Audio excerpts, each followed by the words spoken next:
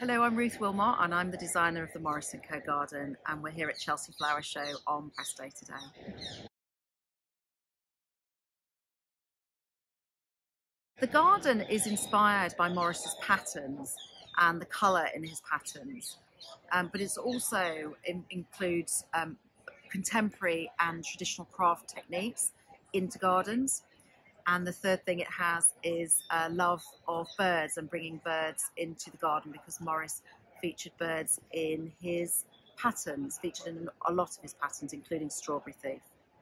I am really pleased by how the colour palette has come together because we were really worried we wouldn't have the mix of colours to be able to do it. And it is inspired by Strawberry Thief, so we got to have the blues, the vibrant blues, the sort of purples, and then the earthy reds and then we've got the bruised reds and then the apricots and the little strawberries. And we were not sure that all of those components were going to to, to flower at the time um, in order to give us that combination. So I'm absolutely delighted because it's what really unites the garden across the whole space.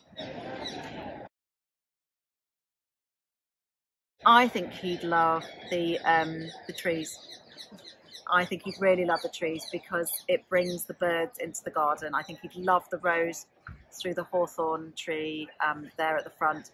And I think he'd love the fact that we've had birds, little bluebirds, little blue tits, because he put bluebirds on his uh, trellis pattern.